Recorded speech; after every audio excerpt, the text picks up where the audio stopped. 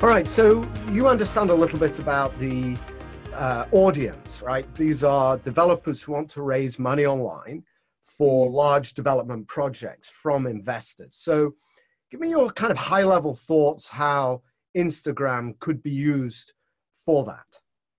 Definitely. Well, Instagram itself is a really good platform nowadays because it has the storytelling capabilities with the stories themselves. It has the grid where you post content it also has direct messaging. So direct messaging and is a really great way to build relationships. So of course, what you're providing is very um, huge amounts of capital. It's not, you know, you're not buying a $30 watch off of Instagram. You're doing large deals that relate that take a long time to build up and long lead time long relationships. So i would look at instagram as a way to really show off your personality show off your professional insights and really educate your audience into what you're providing and why they would want to align with you. And you can do that in a lot of different ways with creating content that really talks about the um, real estate aspects in the real estate place, but also um, really just building those relationships and making that one to one connection through direct messaging and storytelling.